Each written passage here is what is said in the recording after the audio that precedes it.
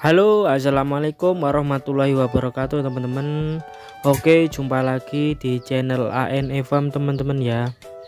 Oke di sini saya akan berbagi sedikit pengalaman dari saya berternak gul amadin mulai awal ya teman-teman.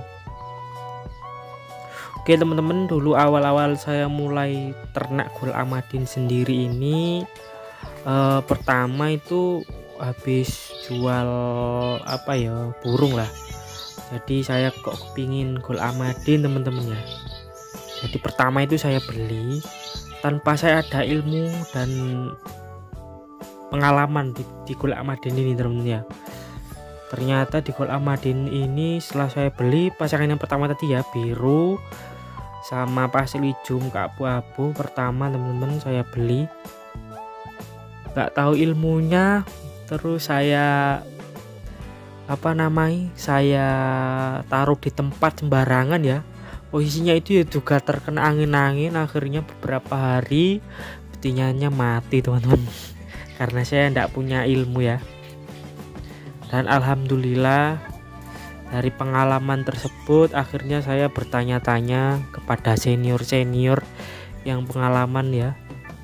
Ternyata amadin itu tidak boleh ditaruh di tempat yang terkena angin langsung teman-teman. Jadi ditaruhnya di tempat yang kira-kira seperti ini ya. Dan kita kasih lampu dengan tujuan untuk jaga-jaga jika suasana itu dingin atau musim hujan teman-teman ya. Jadi biar hangat. Dan untuk perawatannya sendiri itu yang sering itu pokoknya makanannya sering dibersihin kandangnya juga dan poinnya itu ada di air minum teman-teman. Harus pakai di sini saya pakai sendiri pakai air air mateng ya. Atau air mineral. Dan untuk per dua minggu sekali saya kasih vitamin teman-teman. Saya kasih vaksin juga di airnya per dua minggu. Jadinya GA saya itu alhamdulillah sekarang udah aktif dan bisa ber, beranak pinak dan juga ngerti ya teman-teman mungkin teman-teman di sini ada yang lebih berpengalaman atau mau sharing-sharing uh, bisa berkomentar di kolom komentar teman-teman ya. Mungkin ada pengalaman-pengalaman gimana penanganan GA itu sakit mungkin apa ya teman-teman. Yang jelas di sini banyak banyak banget ya master-master atau senior-senior yang pengalaman di bidang gol amadin sendiri untuk kebetulan sendiri ini saya ini ya termasuk pemula teman-teman. Masih belajar ya. Dan mari kita belajar sama-sama sukses sama-sama di, di bidang breeding burung gol amadin ini teman-teman ya. Karena gol amadin sendiri itu mempunyai atau memiliki daya tarik sendiri teman-teman. Dari segi warnanya dari wah pokoknya bagus lah. Dan termasuk burung pipit tercantik di dunia teman-teman